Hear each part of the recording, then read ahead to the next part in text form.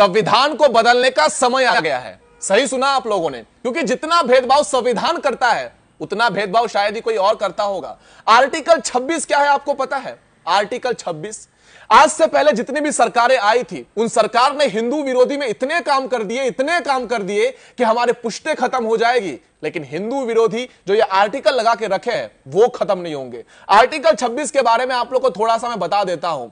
Article 26 के अनुसार मस्जिद के अंदर से जितने भी पैसे जमा होते हैं, वो मस्जिद का मौलवी उपयोग कर सकता है मस्जिद को बढ़ाने के लिए, नया मस्जिद खुलवाने के लिए, मदरसा बनाने के लिए और मदरसों के अंदर तालीब को तैयार करने के लिए और बाद में तालिबान बनाने के लिए।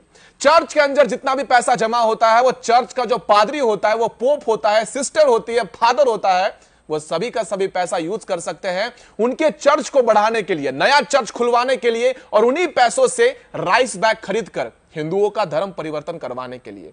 तो ये रही इनकी आज़ादी, ये रही इनकी स्वतंत्रता क्रिश्चियनिटी को लेकर, मस्जिद को लेकर, लेकिन आर्टिकल 26 के अनुसार, हिंदू कभी भी अपने मंदिर का पैसा अपने ऊपर खर्च नहीं कर सकता।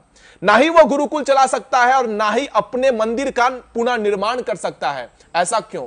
आर्टिकल 26 के अनुसार जितने भी हिंदू मंदिर हैं, उन सभी का ताबा सिर्फ़ राज्य सरकार के पास है।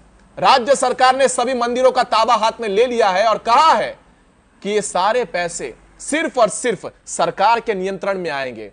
ये भेदभाव सिर्फ़ हिंदुओं के साथ ही क्यों? एक बहुसंख्यक राज्य, एक बहुसंख्यक देश, जहाँ पर हिंदू बहुसंख्यक है, वहाँ पर उसकी तुलना और उसकी औकात रत्ती भर भी नहीं है। क्योंकि हम एकजुट नहीं है। आर्टिकल 26 को हिंदू राष्ट्र से हटाना ही चाहिए और इस वीडियो को अधिक से अधिक लोगों तक पहुंचाकर उनके कानों तक ये बात को पहुंचाइए कि जो भी पैसा आप मंदिर में दान करते हो, उसे मंदिर मंदिर के उन्नति के लिए नहीं, बल्कि सरकार अपनी उन्नति के लिए, मदरसा खुलवाने के लिए, पोप को पढ़ा, पैसा देने के लिए इस्तेमाल किया जाता है। इस वीडियो को अधिक से अधिक लोगों तक पहुंचाकर इस जानकारी को बताए और अपने धर्म को बचाए। तब तक के लिए जय श्री राम।